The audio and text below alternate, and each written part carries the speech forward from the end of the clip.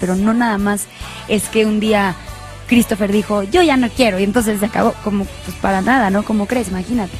Es una decisión de mucha, mucha, mucha gente y es, como lo hemos dicho siempre, un proceso, una etapa que tenía que llegar en algún momento. Y pronto era bien bonito el ver que, que los fans eran amigos cuando, cuando los países eh, políticamente se odian.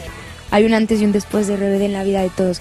Cada quien tiene una circunstancia, una vida, una historia, pero sí juntos estuvimos ahí y ya después sí se marcó una diferencia. Creo que no hay palabras de consuelo para algo así. Si realmente aman tanto a RBD y no quieren dejar ir a RBD, sigan luchando para que la gente pueda ser libre, para que la gente pueda ser feliz.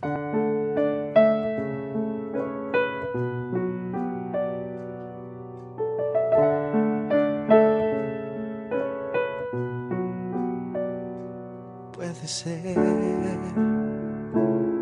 que tenga que mirar atrás para saber cómo caí en este lugar y ahora que si me perdí en medio del mar y me olvidé qué es lo que tengo que buscar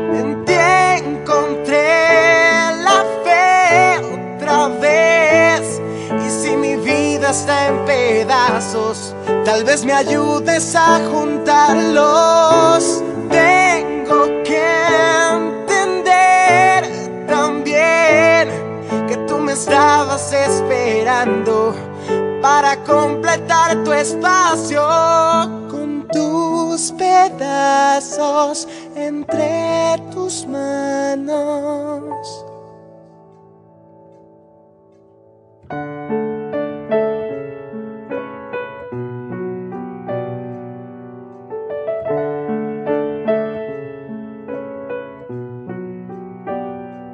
Puede ser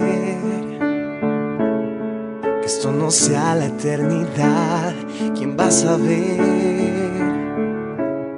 Si un día se tenga que acabar, al menos hoy eres mi faro en este mar y me haces ver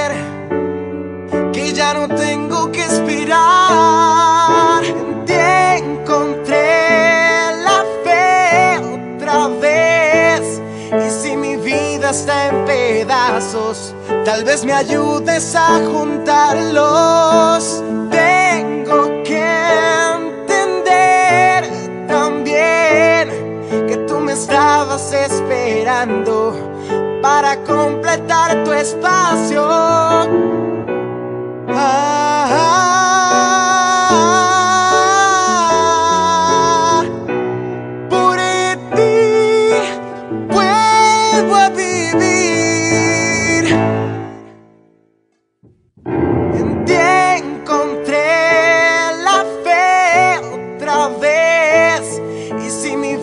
está en pedazos, tal vez me ayudes a juntarlos.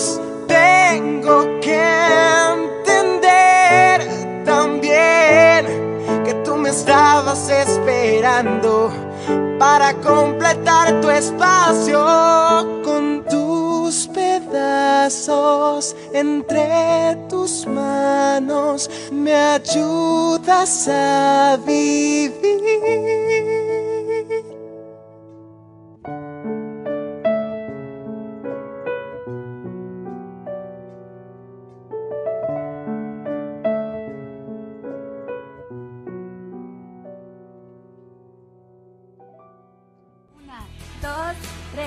¡Gracias!